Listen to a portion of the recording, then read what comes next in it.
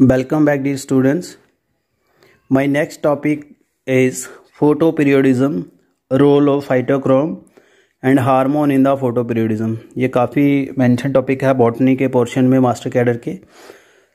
So response of the plant according to length and duration of light उसको हम photo photoperiodism कहते हैं। इसको W W Garner H A Allard U S A के थे, उन्होंने नाइनटीन ट्वेंटी में देखा था। उन्होंने जो Maryland mammoth variety of tobacco की वराइटी है despite of the profuse vegetative growth fail to flower during the summer तो सेम इन द जब उन्होंने ग्रीन हाउस में किया तो उसका स्ट्रक्चर बना। तो उन्होंने देखा भी अलग अलग कंडीशन अगर लाइट की हम चेंज करें तो फ्लोरिंग उसकी प्लांट की, उसकी ग्रोथ है, वो चेंज होती है। उसको फ़ोटो का नाम दिया। तो इसके अकॉर्डिंग तीन तरह के प्लांट होते हैं short day plant long day plant and day neutral short day plant जिसको 12 घंटे से कम लाइट चाहिए इसमें जेंथियम चीनोपोडियम ग्लाइसिन मैक्स जिसको सोयाबीन कहते हैं। लॉन्ग डे में 12 घंटे से ज़्यादा। इसको हैनवेन अवेना स्टाइवा जिसको ओट कहते हैं डाइथम और डे न्यूट्रल में 24 फोर आवर तक ये लाइट को टॉलरेट कर सकते हैं। इसमें कुकुम्बर आएगा जीमेज आएगा tomato and sunflower. So so, यहाँ से एक फ्लो चार्ट दिया हुआ है जिससे आप देख सकते हो short day plant long day plant. कैसे रिस्पॉन्स करते हैं? तो यहाँ से इन्होंने लाइट की है लाइट की ड्यूरेशन दी है यहाँ पे डार्क यू डार्क किया उसके बाद इसकी कौन सी ग्रोथ हो रही है? Flowering and vegetative short day में या लॉन्ग डे में कैसे अफेक्ट हो रही है?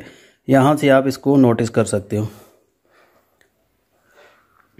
तो मुझे उम्मीद आपको समझ आ चुका होगा। यहाँ पे लाइट भी चेंज किया बेब लेंथ वाइट लाइट में क्या हो रहा है? वेजिटेटिव इसमें आ रही है। लॉन्ग डे में फ्लोरिंग आ रही है। रेड लाइट में वेजिटेटिव फ्लोरिंग फार रेड में क्या चेंज हो रहा है, यहाँ देख सकते हो। तो ये एक पाई चार्ट दिया है, जैसे लाइट की रिक्वायरमेंट कितनी होती है। शॉर्ट डे प्लांट है लॉन्ग डे प्लांट है एंड डे न्यूट्रल तो यहाँ भी इसको आप नोट कर सकते हो। ये twenty four hour short day plant है, यहाँ बारह घंटे से कम ही चलेगी। यहाँ बारह घंटे से ज़्यादा जा रहा है। यहाँ पूरे ट्वेंटी फोर आवर तक ये टॉलरेट कर सकते हैं। अब जो फ़ोटो पीरियडिज्म का जो रिस्पॉन्स है इसके क्या क्या फैक्ट्स हैं फैक्टर जो इसको कंट्रोल करते हैं। सबसे पहले यहाँ आता है जेनेटिक जो जीन ही है, जो फ़ोटो पीरियडिज्म को कंट्रोल करते हैं। तो लखनऊ में जो एन वी आ रही है, उन्होंने वराइटी तैयार की है क्राइजेंथियम की, जो अलग अलग लाइट कंडीशन में काम करती है। डीएनए टेक्नोलॉजी जेनेटिक इंजीनियरिंग से। उसके बाद critical day length day length भी बताया शॉर्ट डे के लिए। पंद्रह point five hour by eight point five light and darkness अगर इससे कम होगी तो उसमें फ्लॉरिंग नहीं होगी। इंडक्टिव साइकिल साइकिल एक अटेन हो जाता है, जिसमें पर्टिकुलरली हमें देना होता है। अगर वो साइकिल रोटेट कर दे, यानी हमने अगर शॉर्ट डे का जो डार्क एंड लाइट का ड्यूरेशन चेंज कर दिया है इमीडिएटली कुछ नया इफ़ेक्ट करेंगे तो उसका चेंज हो जाएगा। तो अगर आपने उसको फ़ोटो पीरियडिज्म करवाना है तो इमीडिएटली आपको उतनी ड्यूरेशन तक उसे रखना पड़ेगा, नहीं तो फेल्ड हो जाएगा। उसके बाद आता है परसेप्शन ओदा फ़ोटो पीरियोडिक स्टिमुलस स्टिमुलस कितना है, क्या परसीव करवाना है, ये भी इफ़ेक्ट करता है। Role of the phytochrome phytochrome एक हार्मोन होता है, जिससे फ्लोरिंग होती है। तो यहाँ पे इन्होंने जो लाइट ड्यूरेशन पीरियड या डार्क पीरियड था, इसको इंटरप्ट किया था मिडवे में। तो इसके लाइट है red six sixty micrometer flowering inhibit हुई। अगर red light immediately followed by far red फिर फ्लोरिंग हुई। तो यहाँ देख सकते हो। 660 माइक्रोमीटर पर लाइट होगी, फिर अगर 730 तक देंगे तो फिर फ्लोरिंग आएगी। तो यहाँ से ये आपको फ्लो चार्ट से देख सकते हो। एक्सपोजर रेड का दिया है। I for inhibition P for promotion जब इकट्ठा दिया है तो प्रोमोटेड हो रहा है। यहाँ पे red far red red far red तो यहाँ आएगा। तो एक हार्मोन है यहाँ फ्लोरिजन। एक हार्मोन है जो सिंथेसाइज होता है लीफ में फेवरेबल कंडीशन में। तो ये फ्लोवरिंग करवाता है। सो so, यहाँ से ये डायग्राम है आप यहाँ से इजीली देख सकते हो। ये शॉर्ट डे प्लांट है ये लॉन्ग डे प्लांट है। और यहाँ से लाइट ट्वेंटी फोर आवर यहाँ बारह घंटे तक। सो क्रिटिकल लेंथ इसकी इतनी है। फ्लैश की लाइट डार्कनेस तो short day plant flower when night exceed a critical dark period a flash of light interrupting the dark period prevent the flowering dark period को अगर ऊपर लाइट जा रही है तो फ्लोरिंग नहीं होगी। तो plant only if the light is shorter than the critical day short day में। तो लॉन्ग डे में अगर ज़्यादा लाइट होगी, तब फ्लोरिंग होगी शॉर्ट डे में कम होगी, फिर होगी। तो यहाँ पे इफ़ेक्ट दिया हुआ है इसका।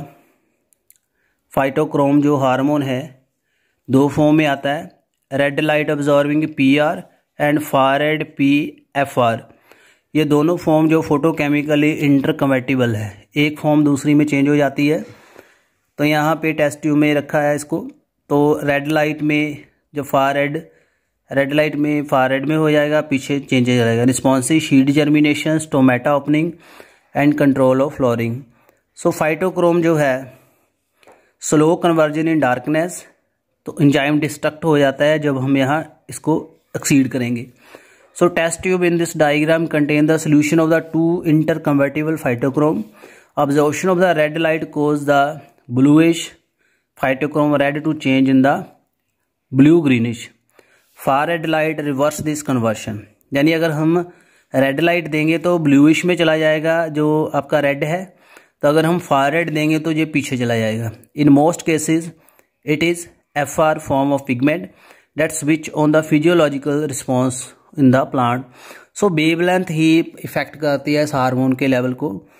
When the phytochrome red absorb the light इतनी डेंसिटी में करेगा तो it converted into F R जब फार करेगा तो ये रेड में आ जाएगा। F R changes red form a dark F R form is cumulated in plant which is inhibitory in plant in short day plant and stimulating in the L D P so far red क्या करेगी? Short day में flowering बंद कर देगी long day में induce करेगी। So phytochrome are believe to be located in the cell membrane cell membrane में है इसका ऐसे बिलीव किया जाता है। सो so, फ्लोरिन भी मैंने बताया कि हाइपोथिटिकल हार्मोन है जिसको अभी तक आइसोलेट नहीं किया गया। जे लाइव फोटोपीरियडिटी में प्लांट के अकॉर्डिंग लीफ में होता है। इंड्यूस ओनली फ्लोरिंग ग्रोथ नहीं करता, ना स्टिमुलेट करता, ना हीविट करेगा। It is produce by the joint activity of leave and growing plant florin is produce only when the plant have completed यूबिलन stage so other hormones भी हैं.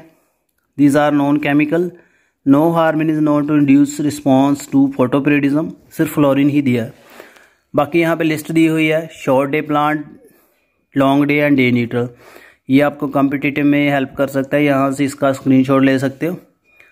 सो मैंने ये पीडीएफ में आपको दिया है। सो कैसा वीडियो लगा काइंडली कमेंट करना। So I could avail you best understanding और क्या क्या कमी रहेगी वीडियो में काइंडली बताना।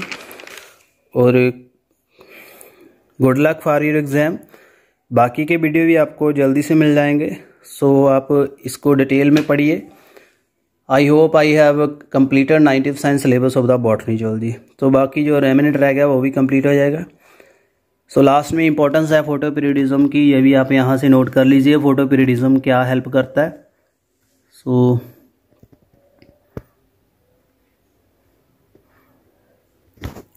Thank you very much and good luck for your exam.